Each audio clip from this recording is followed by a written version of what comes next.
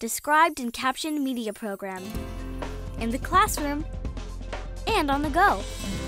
DCMP.org. Green Planet Films presents Curiosity Quest Goes Green Recycling Light Bulbs. Title Fort Worth, Texas. A street sign by traffic lights says Texan. Joel looks at a big green bug crawling on a tree. In a factory, long white fluorescent lights lie on a table and bits of glass are poured into a bin. We made it right here to Fort Worth, Texas. I'm here with Steve. How you doing? Hi, Joel. Steve Remley. Welcome to Texas and Lighting Resources Texas. May I show you around? Absolutely. Let's go. Cool. So tell me a little bit about this place. This facility recycles primarily fluorescent light bulbs, other kinds of light bulbs as well. As you can see as we go through that we have stocks of them that are delivered from our customers.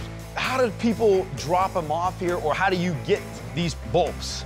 We get these lamps brought in from everyday uh, folks that, that, live in the area that uh, will bring their lamps into us to recycle. We handle many businesses and industrial facilities, airports, schools, government offices. Is it okay to, to yes to, to okay yep. these like these. He holds a small egg-shaped bulb and a much bigger one. From street lights and from stadium lighting, like at the baseball park or at the uh, at your football stadiums. This we'll come from the Texas kinds. Rangers. Is that what Those you're saying? are the kind of lamps that they use throughout, and also the Dallas Cowboys Stadium all use these kinds of lamps and street lights as well. What type of light bulbs are we recycling? What we have. Steve gets some long, thin bulbs. Just the standard fluorescent tubes mm -hmm. right here uh, of various sizes. And then we have what is called a high intensity discharge lamp. These are the, like I said, the very bright ones. Mm -hmm. And as you can see, the fluorescents come in many different sizes and shapes. Joel holds one that forms a spiral. Industrial type compact fluorescent lamps that you would find in floodlights as well. Shaped like a and cone. These are the kind that you would use and you would see at your at your home. They would be smaller than these, obviously.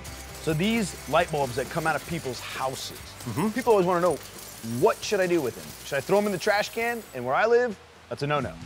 Proof. Title. What can we do with old light bulbs? Different people answer. Reduce, reuse, and recycle them. We can recycle them and use them and make like more, make something out of it to make more electricity. Um, you recycle them? Um, take the insides out and put new ones in. With Steve. People always want to know, what should I do with them? Should I throw them in the trash can? And where I live, that's a no-no. True. Most places it is.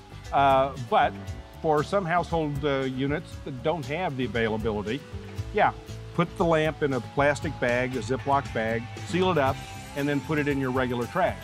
But now if you live in a city like Fort Worth or Dallas or in Los Angeles where they have household hazardous waste facilities, mm -hmm. you can take these and they will take them from you and make sure that they're recycled at a facility like ours. The Described and Captioned Media program provides services designed to benefit students who are blind, visually impaired, deaf, hard of hearing, and deaf-blind. These services include a library of free loan described and captioned educational media, a clearinghouse of information related to educational media access, a gateway to internet resources related to accessibility, and a set of guidelines for adding descriptions and captions to media. There are no user registration or service fees. Visit the DCMP at dcmp.org. The DCMP is funded by the U.S. Department of Education and administered by the National Association of the Deaf.